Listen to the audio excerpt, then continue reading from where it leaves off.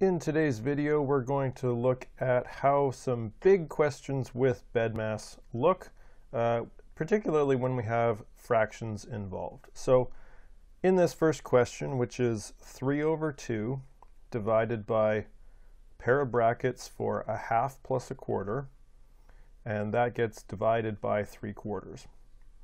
So working our way down BEDMAS here, we've got to do inside of the brackets first. So our first step here is going to be to do 1 half plus 1 quarter. Now in order to do this we need to have the same denominator for both of these two terms.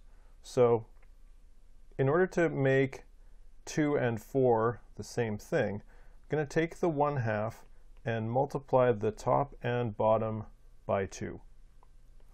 So leaving all of the rest of this exactly the same, we now have 2 over 4 plus 1 over 4.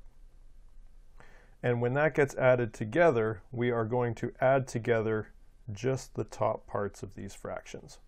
So the 2 plus 1 gives us a 3 on top of the denominator of 4. And now let's be sure to write down the rest of the question as it was with no changes. Now this question has two operations left. They are both divisions, and so we're going to work from left to right. So the next piece that we're going to do here is 3 over 2 divided by 3 over 4. In order to divide two fractions, we're going to flip the second fraction, which we in formal math language refer to as taking the reciprocal, so this is going to turn into 4 over 3. And we're going to change the operation from dividing to multiplying. And let's continue to leave the rest of the equation the same. So putting the divided by 3 over 4 at the end.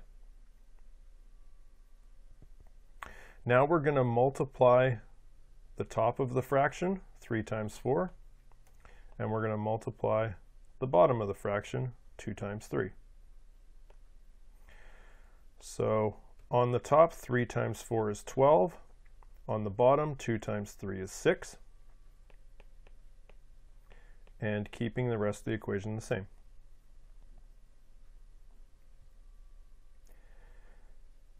And the same steps for the second division. So we're going to take the reciprocal and flip the 3 and 4 and switch to a multiplying operation.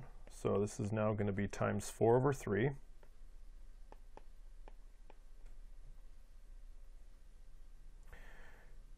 And we can do on the top 12 times 4 is 48.